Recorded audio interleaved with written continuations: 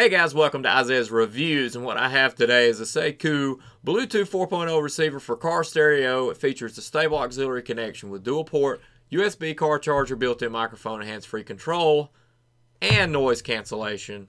So let's get into this itty bitty little box. One thing you'll notice is 18 month warranty, lifetime technical support, and hassle-free service. All right, the cool thing is I've had this out of the box, been using it for quite a while, had to figure out how to put, it back exact. I had to like go back to my memory, yeah, and, and figure out how this went back together again. But I got it back about perfect. I've been using this for like a month straight. Uh, I really love the thing is all I got to say about it. Anything audio related, I really want to take my time with. I do apologize to the company for taking too so long to review this product, but I have like a level of integrity I have to hold up to, and uh, I really wanted to put it through the ringer and make sure to to give a good valued review from experience, not just unboxing it and looking at it and going blah. This pops right out of the styrofoam and this kind of holds it in there nice and neat like. Let's raise this back off. Here's uh, the adapter that you can use to plug your uh, phone into and uh, this Bluetooth adapter here goes into this as well into your vehicle and I'll show you all this stuff later. Here's the little 3M sticky pad that goes up onto the dash or wherever you want this thing to go and then you just put this on it which is magnetized which is really cool. I'm to slap that on there and it just pops right into place because it's got these little little grooves here cut out and so does the back snaps right in there, which is awesome. I love that because then you just take it off, hold it in your hand, do whatever you want with it, push push to do, which we'll talk about what all the pushing and, and turning of this thing does here in just a second. You get a little extra little little 3M sticky thing, which is nice in case something happens to the other one that's on the back of that magnet thing. And then you get the, um, little bookmark, little magnetized little bookmark here from Saicoo, which is which has their uh, logo on it and stuff, which is which is nice. Box, you also get a manual. Yeah, it's a manual. All right, let's talk about some of the features of this. So once you've got this guy uh, mounted to your dash, it just sticks on really easy. And it'll come off actually easy too. I, have had another brand of, of, this before in the past, but this one is better. It's running Bluetooth 4.0. The one I had was 3.0. So let's go over the features of this guy. So when you have a call coming in, you can just press this multifunction button to answer a call or to end one. So it's just boop, I'm done with you, boop, answer the phone. You can long press the button to reject a call without even having to answer.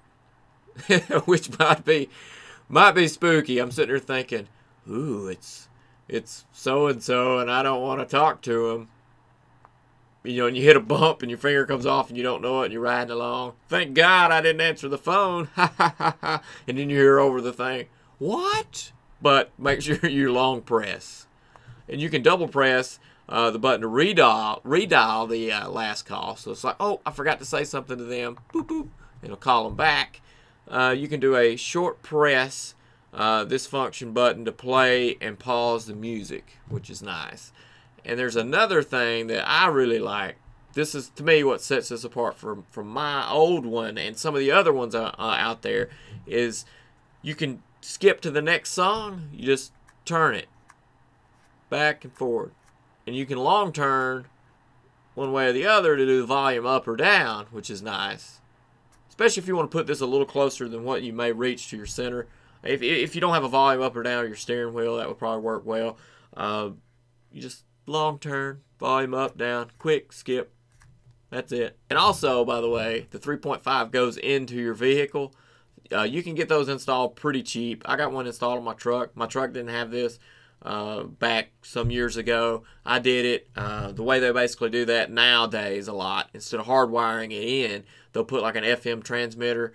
Uh, you plug this in, they'll hide it inside the dash somewhere, and they'll put a little a hole nice and neat in your dash somewhere and you just plug that right in. It's got a box back there that, that's a FM transmitter. There'll be a switch they'll hide somewhere for you to cut the uh, FM transmitter on, and then you just pre-program a FM channel somewhere on your dash, and it's over the air. It's not hard hardwired in. Mine's not hardwired in. It sounds just fine. So don't be too scared to go that route versus wired in, hardwired in.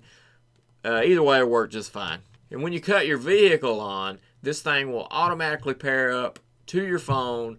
The last device it was paired to automatically connect back to that device again. So if you leave your Bluetooth on all the time like I do, basically you jump in your vehicle, you, you turn it on, it automatically connects, you can hear it connect, and you're good to go. You never have to uh, mess with your phone and find it and connect to it manually. And you do have the extra port, the 2.1 amp to charge your phone, which is really cool. An extra uh, port on there is an awesome thing to charge your device. Or in my case, what I have coming out of this is actually my dash cam. I have my dash cam coming off this and uh, this Bluetooth adapter coming off this, which is pretty cool.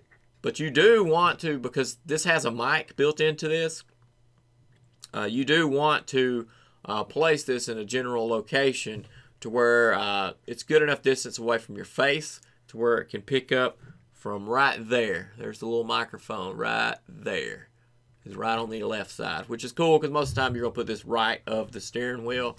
So that works out great.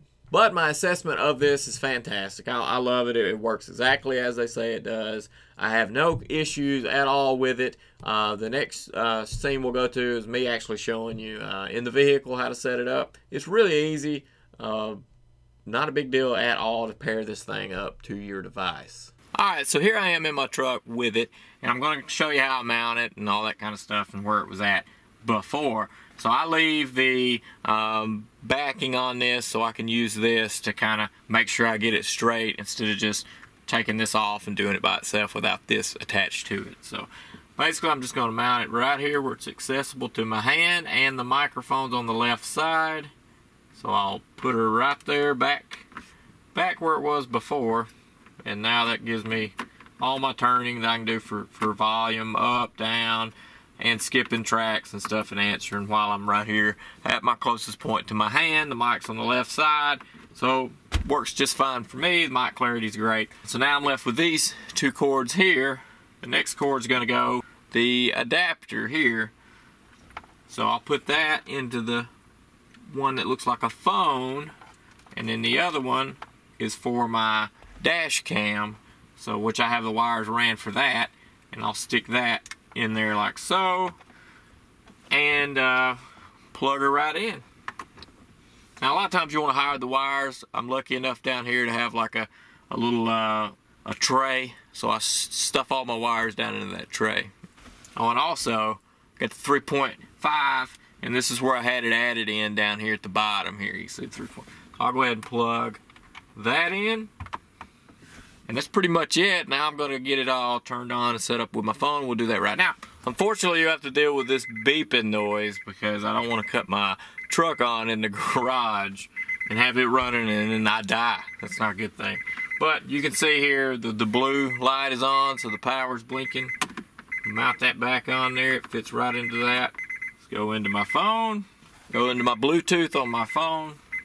And then the Saicoo S03 shows right up on my phone down here. You probably can't see that, but it does. I'm pairing to it now. And I, hope you, you hear the audible for it. I'm connected. And that's it. You're good to, you're good to go. You've got complete audio in the vehicle. You're Bluetoothed up. It'll sync up with you every time now. It's really easy. I'm not going to play any music for copyright issues, but uh, that is it. I mean, it works great. I'm completely happy with the product. Uh, Saicoo's a good company, and I really do appreciate your time watching this. We'll see you later on Isaiah's Reviews. This has been another Isaiah's Reviews. I hope you've enjoyed this video. If you did, like, subscribe, and share this to all your social sites. That helps get me to places I can't get to on my own, and I really do appreciate that. And I can't wait to see you again here on Isaiah's Reviews.